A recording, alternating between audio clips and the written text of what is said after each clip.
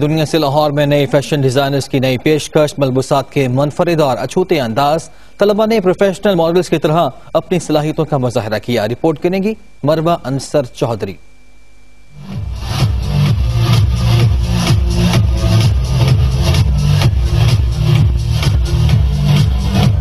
Institute of design art and management کی جانب سے فیشن ڈیزائن کی ڈگری حاصل کرنے والے طلبہ کی تخلیقات پر مبنی فیشن شو۔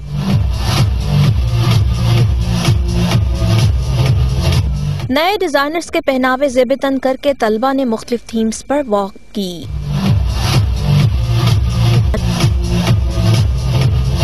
فیشن شو میں مختلف ممالک کے کلچر کی بھی جھلک دیکھنے کو ملی۔ چین راجستان سوڈان، بھارتی پنجاب، روس اور برطانیہ کے روایتی ملبوسات زیب تن کیے ماڈلز کی واک۔